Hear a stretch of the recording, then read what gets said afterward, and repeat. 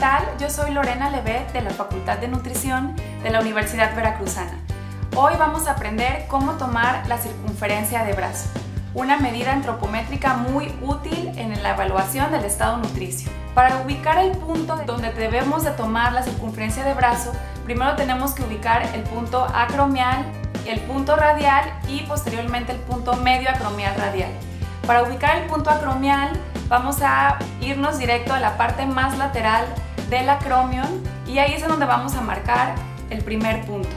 Posteriormente marcamos el punto radial en donde vamos a ubicar la cabeza del radio para marcar el siguiente punto.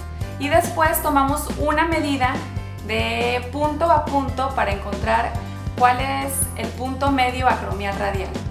Una vez tomando esta medida, ubicamos el punto medio acromial radial y justo en el punto medio es en donde vamos a tomar la circunferencia de brazo en un plano horizontal.